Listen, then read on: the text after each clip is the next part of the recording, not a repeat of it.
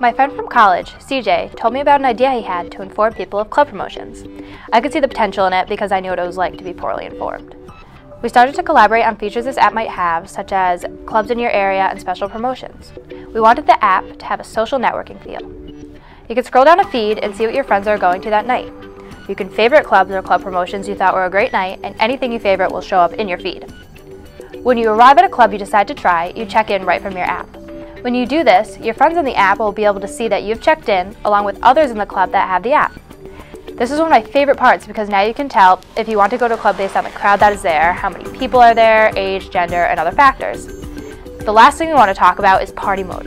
There are tons of features in party mode. You could choose to enter party mode after you check into a club. In party mode, your friend's profile pictures will show up if they checked into the same club that you are in. There are many other features of party mode as well, but we don't want to give too much away.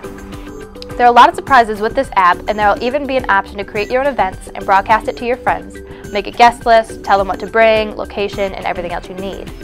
This will also be Facebook integrated, so you can choose anything you want automatically to upload to Facebook, or you can be as private as you like. Some aspects of the app are for efficiency and some are for fun. No matter what you're looking for, we think you can use the app. Please give us your support. This is just a concept app designed so the finished product will be even more user-friendly.